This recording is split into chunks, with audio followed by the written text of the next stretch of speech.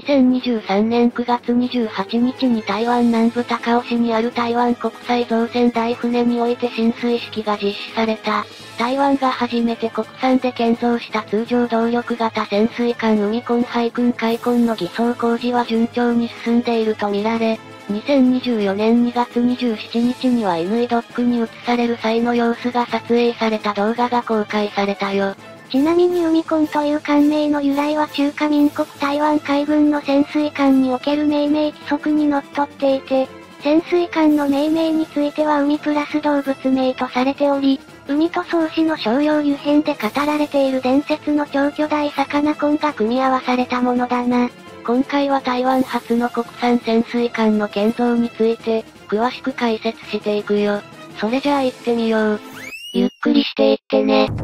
今回の移動作業は艦隊を隠す目隠しなどの措置がされないまま行われていて、先行時の海底地形探知などに使われる監視紙型の高周波ソナーや側面アレイソナーなどの他に、魚雷発射管や排水口など、昨年9月の浸水式では中華民国国旗で覆い隠されていた艦首部分の各種装備が確認されたよ。海根の艦隊サイズは全長80メートル排水量2500トン3000トンの情報ありとされ、国産潜水艦とされて入るものの、戦闘システムはアメリカの原子力潜水艦に搭載されている。ロッキード・マーティン製のものが採用されて搭載されることになっているほか、魚雷も最新技術が込められているロッキード・マーティン製のンク48を調達して搭載される予定なんだって。管方式はディーゼルエレクトリックであるが先行時の電力源として、日本の海上自衛隊の通常動力型潜水艦総流型の11番艦応流と、12番艦東流そして後継の大芸型の1番艦大芸、2番艦白芸、3番艦陣芸に搭載されているリチウムイオン蓄電池が搭載されていることで注目を集めているね。大芸型と同様に高性能リチウムイオン蓄電池を大量に乗せているとみられ、この蓄電池の蓄電性能によってやはり大芸型と同様に2週間ほどの連続潜航が可能と推測されているな。開根は2020年11月24日に台湾国際造船で寄港され浸水まで2、3年を要してきたが、台湾はこの先この海根級通常動力潜水艦を8隻12隻との情報もあり建造する計画であるとされ、日本円にして1兆6000億円に及ぶ予算を組んだと言われているぜ。今回動画が公開された海根の偽装工事が完了して台湾海軍に収益する時期について、蔡英文総統は2024年末を目指していると述べているものの、軍事専門家の間では収益がそれよりも遅れる可能性があると指摘する声もあり、2024年末から2025年にかけての時期になるだろうとの見方が主流だね。台湾海軍は現時点で4隻の通常動力型潜水艦を保有しているけど、いずれも数世代も前の旧式潜水艦であり、最も新しいシャチでさえ1988年に収益していてその慣例は36年にもなるんだ。このシャチは海流級通常動力潜水艦の2番艦で、海流級はオランダ海軍のズバールトフス級通常動力型潜水艦の改良型とされ、この2隻は現在の台湾海軍では貴重な虎の子的存在だね。基準排水量2300トン水中排水量2600トン全長66.92メートル、全幅8.4メートルと開根より一回り小さいが、ディーゼルエレクトリック推進により水上の最高速力12ノット、水中最高速力20ノットを発揮するほか、6門の 533mm 魚雷発射管からはハープーン対艦ミサイル SSM 発射することが可能とされ、現時点においてもある程度の戦闘力を持つ通常動力型潜水艦として評価されているぜ。しかし日本の海上自衛隊で言えば、すでに2世代前の潜水艦としてその全てが退役している、渦潮型潜水艦と同世代であり、さらには2021年4月21日に乗員53人全員が死亡する、沈没事故を起こしたインドネシア海軍の潜水艦 KRI ナンガラなどとも同世代の旧式潜水艦であるため、高性能化が著しい中国海軍の潜水艦の性能にははるかに及ばないばかりか度が低いと見られている。中国軍の哨戒能力でも探知が可能で、しかも運用されているのが2隻のみでは中国にとってさほどの脅威とはならないとされてきたわけだ。なぜ2隻しか購入できなかったかについては、台湾海軍ではこの海琉球潜水艦をオランダのスフェイエノールト社から6隻購入する予定であったけど、この契約について中国がオランダ政府に対して強烈な外交圧力をかけたことにより、中国との関係悪化を恐れたオランダ政府がストップをかけたためとされているんだ。台湾海軍では海流級の他に2隻の通常動力型潜水艦を保有しているけど、こられはいずれも太平洋戦争時に建造されたアメリカ海軍の通常動力型潜水艦で、退役後に台湾海軍に売却されたいわば骨董品だね。そのうちの1隻海氏は1945年に収益したアメリカ海軍天地級通常動力潜水艦のカットラスで、1973年12月4日に台湾に売却され基本排水量1870トン水中排水量2440トン全長95メートル、全幅8.33メートルの艦隊に 533mm 魚雷発射管を10門備えているものの、近年では艦隊の体圧からの歪みが発覚するなどして、水深20メートルまでしか潜れないとされ、もう一隻のアザラシもまた1946年に収益したアメリカ海軍のパラオ級潜水艦の、タスクの退役後に台湾海軍に売却されたもので、同艦も全近代的な潜水艦として開始と同様に実用的な潜水深度は20メートルほどであろうと言われているため、中国海軍から見て脅威となる存在ではないぜ。その台湾海軍がこの先、日本の最新鋭潜水艦である大芸型と同等かそれ以上の性能があるとも言われている。潜水艦を12隻も保有することになれば、中国海軍にとっては厄介な存在となることは間違いないと見られているな。しかしながら戦術したようにこれまで国産潜水艦を建造した実績がない台湾がいきなり、戦後数々の潜水艦を自主開発し続けてきた日本の最新鋭潜水艦と肩を並べるほど高性能な、潜水艦を設計建造したことについては、西側諸国欧米メディアによるとアメリカ、イギリス、オーストラリア、カナダ、スペイン、インド、韓国の7カ国からの技術提供があったのではないかとの見方が広がっているよ。西側諸国の中で、中国に対して表立って対抗できるのはアメリカくらいのものだけど、アメリカでは1959年に最後の通常動力潜水艦バーベル級3隻を建造したのを最後に、同級の設計資料を日本とオランダに譲渡しており、日本では渦潮型、オランダでは台湾海軍海流の原型であるズバールトフィス級潜水艦に引き継がれ、それ以降アメリカは原子力潜水艦しか建造していないんだ。そして、開墾の蓄電池がリチウムイオン蓄電池であることとそういう型と体芸型に採用されている。X 字火事が採用されていることなどから、設計建造については水面下で日本からの技術提供があったのではないかとの見方もあり、これらの他にも日本は水圧に耐える超高張力鋼の製造技術に長けていることから、民生レベルでの技術協力といったような形で製造に関する技術情報を提供している可能性があるとの見方もあるよ。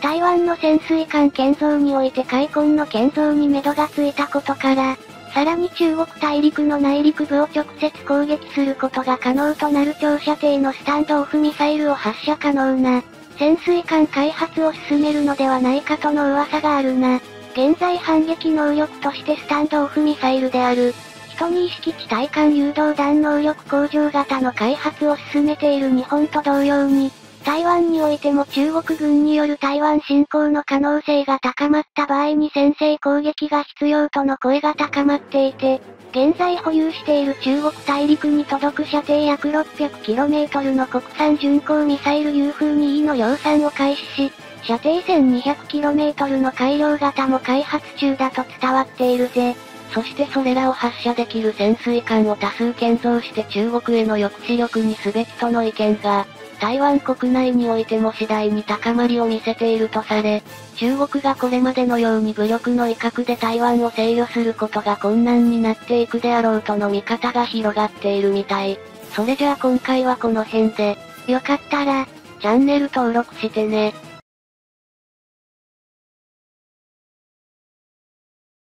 またもや海上自衛隊がシードラゴン2024で優勝したね。海事 P1 哨戒機部隊が異例の優勝2連覇達成を成し遂げたことになるな。今回はそんな海事の P1 哨戒機の売り出しが決定した件と、それに伴う国連の反応について詳しく解説していくよ。それじゃあ行ってみよう。ゆっくりしていってね。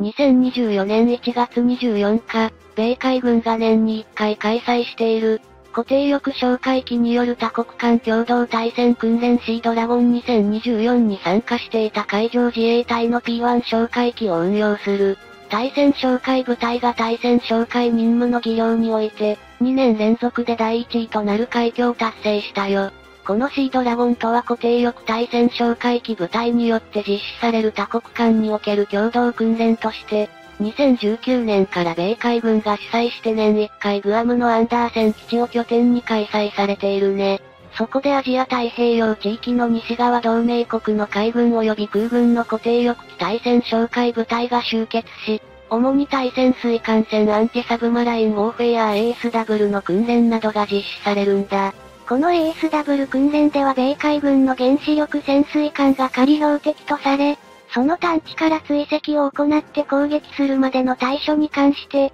集まった各国の哨戒機部隊がそれぞれ270時間以上の飛行時間を費やして訓練演習が実施されるというものだな。ASW 訓練の公開されている内容としては、対戦哨戒機が上空から投下したその部位を用いて目標潜水艦を探知した後、追跡しつつ解析を行いながら最終的には爆雷や爆弾あるいはミサイルなどで攻撃するという想定となっているぜ。それらの戦技を競うためにポイント化し、総合的に評価した上で訓練期間を通じて最高得点を獲得した国の、紹介部隊が最優秀部隊として表彰されるわけだが、そのチャンピオンの証としてドラゴンベルトが対象チームに授与されるってわけだ。また C ドラゴンでは ASW を実践する訓練演習の他に、座学の時間も設定されていて、各国から参加しているパイロットや飛行士たちが、それぞれの所属部隊における ASW 実施計画や、運用している固定翼機の性能やその部位などの性能を披露し合いながら、実際の運用や戦術についてのディスカッションなども行っているみたい。要するに参加する各国の哨戒機部隊は、単に競技として競い合うだけでなく、同じ任務に就く対戦哨戒部隊同士の間において友好を深めることも目的とされており、訓練時間以外の自由時間においても各国のクルーたちは積極的に他国のクルーとの間で、敵国の対戦哨戒や偵察業務についての情報交換などを行っており、そのことが信頼を深めつつ技量向上にもつながっているぜ。今回実施されたシードラゴン2004も例年通りで米海軍主催のもと、イギリス、フランス、カナダ、インド、韓国そして日本の7カ国が参加して対戦紹介の技量を競い合い、2024年1月8日から24日にかけて実施され、昨年のシードラゴン2023に参加して第1位を獲得した鹿児島県にある鹿屋基地所属の第1航空隊第11飛行隊に続いて、神奈川県にある厚木基地所属の、第3航空隊第31飛行隊が参加して2年連続の第1位を獲得したよ。厚木基地からは訓練のために P1 哨戒機1機と約40名の隊員を派遣し、今回の優勝に伴って同航空隊には最優秀哨戒部隊の称号として、ドラゴンベルトと呼ばれるチャンピオンベルトが授与されたんだ。固定翼哨戒機として2連覇を成し遂げた海事が運用する P1 哨戒機は、防衛省技術研究本部と川崎重工業による共同開発で誕生したターボファンエンジン4機の固定翼対戦哨戒機であり、それまで海事が長期にわたって運用していたターボロック式の P3C 哨戒機の後継機として開発され、2013年3月に運用開始以降、2021年までに42機が配備されていて、最終的には70機を調達する予定だね。P1 哨戒機の機体は川崎重工業が主体となって開発製造をしているんだけど、各部分においては三菱重工業が中道と後道を担当し、主翼と垂直尾翼は SUBARU が担当しているほか、その他の一部を日本飛行機が担当するなど、自衛隊の防衛装備品製造に関する企業が団結して共同開発した集大成となっているよ。しかも4機のエンジンには IHI が開発製造しているターボファンエンジン XF70 が採用され、またアビオニクスにおいては操縦系統と各種センサー類や精密電子機器との間における互いの干渉を避けるため、光ファイバーを使用したフライバイライト通称 FBL 方式が採用されたぜ。この FBL の採用は実用機としての試みが世界初となっていて、このことによって機内配線の軽量化や消費電力の低減も図られたらしい。オートパイロット自動操縦においても、従来の P3C 哨戒機では高度を維持する程度の機能しかなかったが、旅客機並みの自動操縦に加えてトリム操作や当て舵の自動化など、長時間巡航することが多い哨戒機に適した操縦アシスト機能まで大きく進化しているよ。また P1 哨戒機の対戦哨戒用その部位は、胴体下部にある試着格納部分の後方に38個装填されているが、その投下用その部位の格納部分には機体内部からの再装填を可能とし、そのうちの一部はロータリー式ランチャーによる自動装填となっており、機内に搭載されている96個のその部位を簡単かつ即座に投下することができ、こういった部分においても乗員の負担が大幅に軽減されたんだ。そして探知した潜水艦を攻撃する際に使用される兵装に関して、空対艦ミサイル91式空対艦誘導弾及び AGM84 ハープーンなどを搭載でき、防空用の空対地ミサイルの AGM65 マーベリックも主翼下部にある8カ所のハードポイントに搭載可能であるほか、機種の下には爆弾蔵があって対戦爆弾や単魚雷などを最大9トンまで搭載できるなど、強力な攻撃能力も持っているため、有事の際にも活躍することは間違いないぜ。これらに加えて、長時間となることが多い対戦紹介任務における乗員の疲労を少しでも軽減するため、機内には乗員のための休憩スペースやトイレを備えたギャレー区画というものが確保されており、P3C などでは搭載されている精密機械に電磁波が影響を与えることを理由に、搭載されていなかった電子レンジも設置され、乗員がいつでも温かい弁当などの食事や飲み物を取ることが可能となっているな。ただし、昔から海上自衛隊では食事や休憩は乗員の自責で取る習慣があるため、普段の任務において休憩スペースが利用されることはないらしいよ。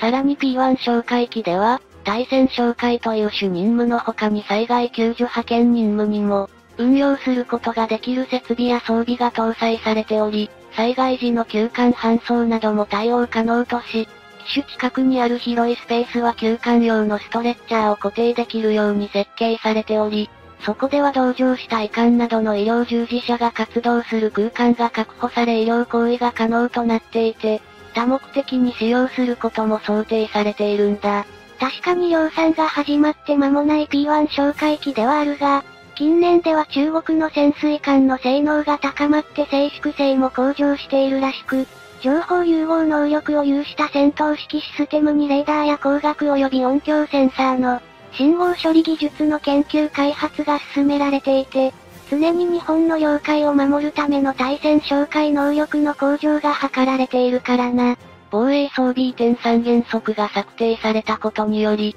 優秀な P1 哨戒機の海外輸出を試みる動きが以前から見られていて、これまで P3C などを導入していて後継機種を探している国を中心に売り込みが実施され、官民共同で海外の航空ショーや見本市などに出展しているんだけど、現時点ではアメリカの P8 との競合に負け続けており、このシードラゴン2024での2年連続優勝という実績がどれほど貢献するかが注目されているね。それじゃあ今回はこの辺で、よかったら、チャンネル登録してね。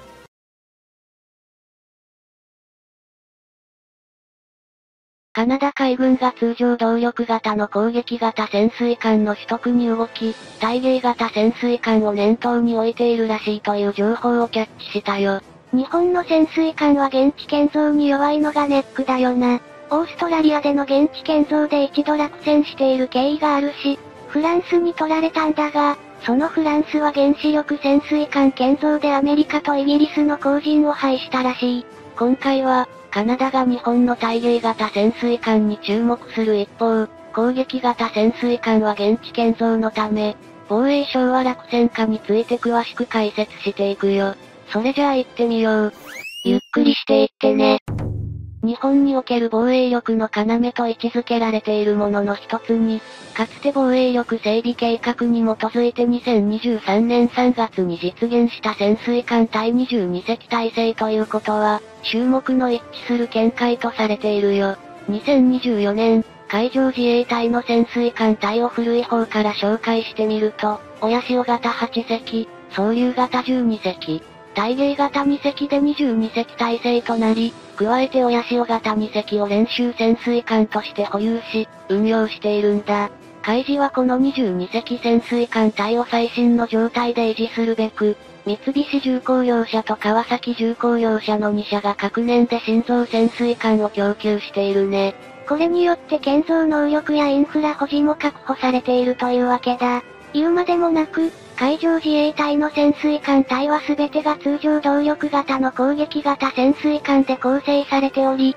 兵装としては、艦首部に装備する6門の 533mm 魚雷発射艦から運用される兵器だぜ。こうした状況下、海事で実戦配備されている潜水艦の中で最も古い艦級の親潮型だけど、2000年平成12年3月に収益した3番艦渦潮で、今年で25年目の艦例となるよ。海事の潜水艦が全て通常動力型攻撃型潜水艦というのは前述の通りだけど、機関部の構成は艦級ごとに改められていて、艦級と同様大きく3種類に分けられるみたい。一番古い親潮型はディーゼル機関と鉛製バッテリーと発電機を備えるディーゼルエレクトリック方式で、世界の歴史上、潜水艦が海軍戦力として登場した1世紀以上前からある古典的な構成となるぜ。続く総流型は1番艦総流から10番艦の小流までの重隻が、ディーゼル機関と鉛製のバッテリーと発電機に、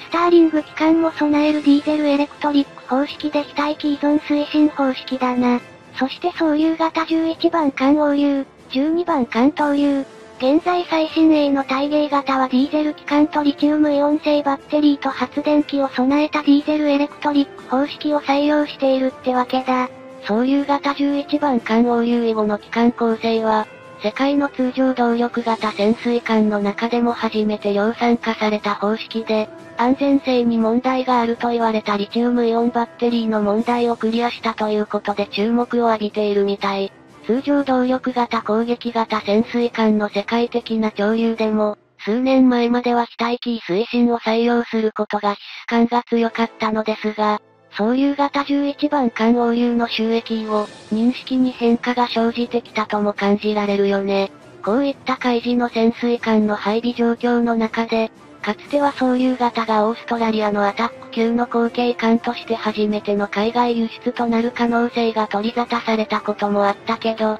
成就しなかったんだ。オーストラリアはこの時、フランスのシフラン級攻撃型原子力潜水艦を通常動力仕様に改修したものを採用することに決めたんだけど、イギリス、アメリカとの新たな軍事同盟オーカスの締結によって撤回されたことはご存知の通りだよ。オーストラリアはオーカスの締結によって、アメリカのバージニア級攻撃型原子力潜水艦を5隻程度調達し、以後はイギリスと新規の攻撃型潜水艦オーカス級を建造し、取得する方向へと舵を切ったわけだな。こうしたオーカスの動きに伴い、世界の攻撃型潜水艦のマーケットが今後は一気に原子力推進に傾くという見方も指摘されたが、高額な建造費や維持費の費用対効果を熟考すると通常動力型攻撃型潜水艦の需要は残存していると言えるぜ。具体的には2023年の段階で通常動力型攻撃型潜水艦の新規取得を計画している国は、オランダ、ポーランド、ルーマニア、中東ではエジプト、アジではインド、フィリピン、南米ではアルゼンチンなどが挙げられるよ。北米ではカナダも施行しているから、インドとカナダを除けば、広い海域を戦場とすることが考えにくい。つまり大陸国が主に費用対効果に優れる通常動力型攻撃型潜水艦の調達を希望しているように思われるね。インドの場合は広大なインド洋と対中国への軍事上の対抗策として、沿岸部の警備警戒に通常動力型攻撃型潜水艦を望んでいるとみられ、この考え方は中国やロシアと似た運用方針ではないかと感じられるよな。カナダは地理的な位置を見ると、西に太平洋、東に大西洋、北に北極海と広大な海域を守備範囲として抱えていて、また NATO に加盟する最大の同盟国であるアメリカに隣接しているため、比較的恵まれた安全保障環境にあるとも言えそうだぜ。現在のカナダは1980年代にイギリス海軍が最後の通常動力型攻撃型潜水艦として建造した、アップホルダー級潜水艦4隻を譲り受け、ビクトリア級潜水艦と名称を改めて運用しているね。この旧アップホルダー級潜水艦、現ビクトリア級潜水艦のサイズだけど、水上排水量2185トン、水中排水量2400トン、全長70.26メートル、全幅7.6メートルで、主兵装は艦首部の6門の 533mm 魚雷発射艦となっているよ。同艦はイギリス海軍において1990年から1993年にかけて収益したが、同海軍が潜水艦の推進方式を原子力に一本化する決定をしたため、1993年から1994年にかけて退役し、カナダ海軍は2000年から2004年にかけて再収益したというわけだ。現ビクトリア級潜水艦はイギリス海軍ではたった1から3年ほどしか運用されなかったため、貴重な新古品としてカナダ海軍が受け入れたという形だが、カナダ海軍では兵装の対艦ミサイルや機雷が除かれ、超魚雷だけで運用しているぜ。こうした兵装の省略からも推測すると、カナダ海軍が現ビクトリア級潜水艦に求めた能力は、純粋な哨戒任務が主であると見られるんだけど、現時点ではイギリス海軍での収益から最大35年、カナダ海軍でも25年経過しているから、老朽化が進んでいると言えるんだよね。そのためカナダの国防省は CPSP カナディアンパトロールサブマリンプロジェクトと名付けた検討機関を設置。2034年に退役を予定している現ビクトリア級潜水艦を代替する方針を進めているみたい。このカナダ国防省の CPSP では、自国海軍の要求を満たす通常動力型攻撃型潜水艦の建造可能国をフランス、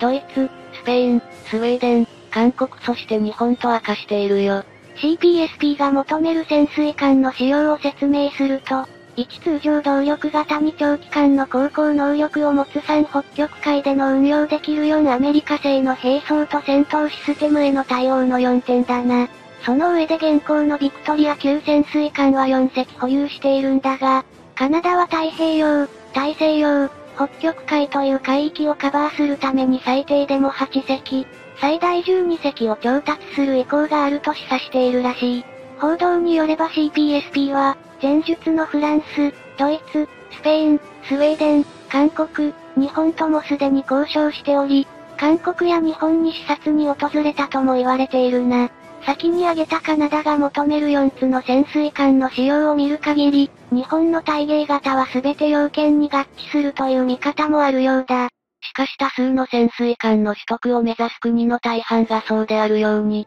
カナダが採用する潜水艦の自国内建造を要件に加えるとすれば、日本には残念ながら実績はないからね。となると日本は落選ということになりそう。それじゃあ今回はこの辺で、よかったら、チャンネル登録してね。